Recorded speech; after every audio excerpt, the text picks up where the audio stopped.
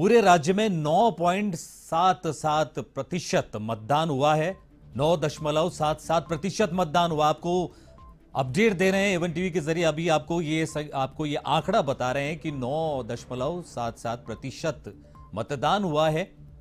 और ये सुखद संकेत है और जिस तरह से निर्वाचन विभाग भी कोशिश कर रहा था और दूजी, जो संस्थाएँ, निजी संस्थाएँ भी हैं, वो भी कोशिश कर रही थी कि किसी तरह से मतदान बहुत अच्छा हो, प्रतिशत अच्छा हो, ताकि ये जो महापर्व कहा जाता है, लोकतंत्र का महापर्व, ये महापर्व अपने सही मायनों में महापर्व बन जाए, जहाँ सभी अपने मताधिकार का प्रयोग करें और उसी को देखते हुए अभी का ये आंकड़ा है और उम्मीद की जा रही है कि मतदान अब धीरे धीरे बढ़ेगा, क्योंकि एक सुबह का जो समय होता है, वहाँ अपेक्षाकृत, शहरों की अपेक्षाकृत ग्रामीण क्षेत्रों में बड़ी लाइनें लग जाती है। लोग चाहते हैं कि जल्दी से मतदान करके आ जाएँ और शहरी क्षेत्रों में देखा जाता है कि आराम से मतदान करेंगे।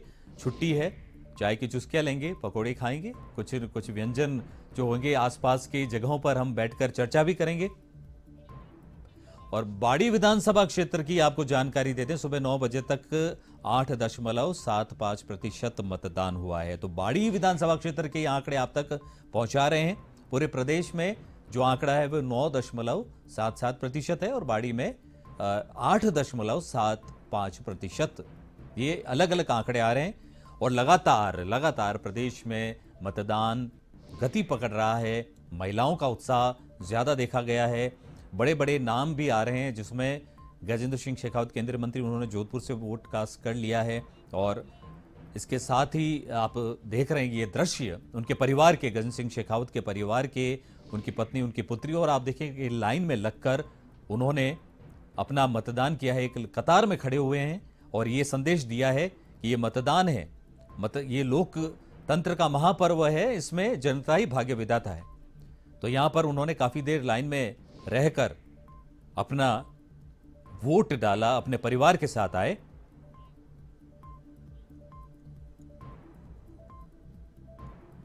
तो हम लगातार आपको अपडेट दे रहे हैं मतदान केंद्र पर। तो अलग अलग दृश्य देख रहे हैं आप, ये चौमू विधानसभा क्षेत्र के एक पोलिंग बूथ का ये एक दृश्य है और यहाँ का प्रतिशत नौ दशमलव आठ आठ प्रतिशत। इस पोलिंग बूथ का एक दृश्य चोमू में भी मतदान केंद्रों पर लंगी, ये कतारें चल रही है, लंबी कतारें लगी हुई है, लोग यहाँ पर लगातार मतदान के प्रति उत्साह दिखा रहे हैं। और डूंगरपुर विधानसभा क्षेत्र में भी मतदान प्रति, प्रक्रिया जारी है। तो डूंगरपुर विधानसभा क्षेत्र में खासतौर पर बुज़ुर्गों में उत्साह देखा जा रहा है। तो कहीं युवा ज़्यादा संख्या में दिख रहे हैं और वहाँ दामड़ी में 101 साल की मोहन कंवर ने मतदान किया है। बहुत बड़ी बात होती है।